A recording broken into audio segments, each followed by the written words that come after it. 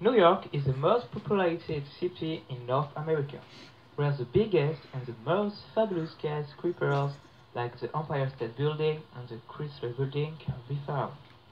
This city on the Hudson River, which has the most complex and extensive transportation networks, with its tramway, buses, bicycles, and 1,200 yellow cabs, is hot in summer but cold in winter, with moderate snowfall. The inhabitants of New York, who are 82 million, use the longest subway system in the world. New York is the best city in the world, with a fabulous architecture and a lot of open-minded people. But if you don't like the noise, you don't have to go to New York City. In front of Central Park, the American Museum of Natural History can be found. It's one of the biggest and the most well-renowned museums in the world.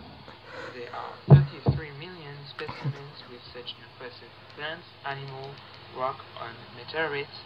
There are 5 million visits annually. The Statue of Liberty is the most popular monument in USA. It's such a magnificent symbol of liberty. It was built in 1886 by Auguste Bartholdi and Gustave Eiffel. You have to take a boat in order to visit Liberty Island, where the Statue of Liberty can be found. Union Square is the most beautiful neighborhood in New York with great green space and fabulous architecture.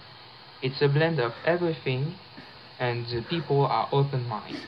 You don't have to take a yellow cab in order to go to Union Square because there is a lot of subway line which cross the neighborhood. Union Square is near Broadway and Greenwich Village.